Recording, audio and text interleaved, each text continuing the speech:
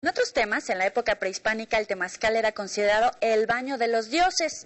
Pues bien, a una hora de la Ciudad de México, en el municipio de Amecameca, se encuentra un lugar mágico, un paraíso para nosotros los terrenales, la Uma Temazcal.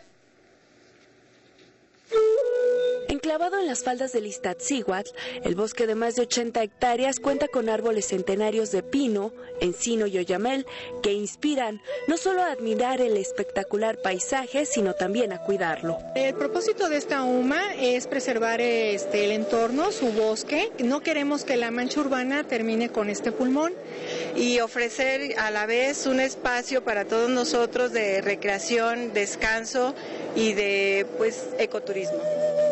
Al tener la categoría de unidad de manejo ambiental, es obligación conservar y fomentar el respeto hacia la naturaleza, el cuidado de los árboles, plantas y animales como el venado cola blanca, el teporingo o zacatuche y la zorra gris. Para poder mantener este lugar, principalmente requerimos de que el lugar se vuelva sustentable y esto va a ser a través de la visita de la gente y esto lo hemos estado promoviendo a través de reuniones, integraciones, ya sean de empresas o de las escuelas.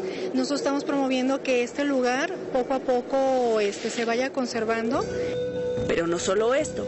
La UMA Temazcal busca que los visitantes enriquezcan sus conocimientos sobre la protección de los recursos naturales a través de un programa de educación ambiental. Y aun cuando estamos en el bosque podemos contar con servicios como es este eh, servicio médico, restaurante, podemos acampar, podemos ofrecer a nuestros visitantes un lugar para descansar o recrearse o también para las empresas eh, que organicen sus cursos de capacitación.